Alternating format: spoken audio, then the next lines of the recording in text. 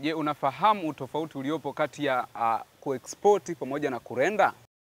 Uh, baadhi ya watu wamekuwa wakichanganya. Ndani ya Adobe Premiere Pro kuna hivyo vitu viwili. Kurenda uh, ni sawa na kuvunjavunja elements pamoja na layers mbalimbali zilizoko katika timeline ili kukuwezesha wewe kuplayback au kupreview kazi yako ndani ya timeline ya Adobe Premiere Pro. Lakini kuexport kazi yake ni kufinalize au kuitoa kazi kutoka katika mfumo ambao ulikuwa una edit ndani ya Adobe Premiere Pro na kuexport au kupeleka katika mfumo ambao utakuwezesha wewe kuplay au kutumika kwenye vyombo mbalimbali kama simu, TV pamoja na devices nyingine kama hizo. Kwa hiyo ndio tofauti kubwa.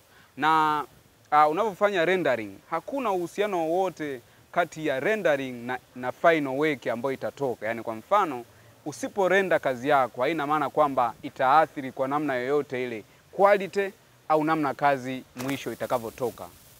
Kazi ya rendering ni kukusaidia tu wewe kuweza kupreview na kuona vizuri kile ambacho unakifanya kwenye timeline, lakini hakina madhara na hakiwezi kuathiri kwa namna yoyote ile matokeo ya mwisho ambayo unayafanya kwa kuexport.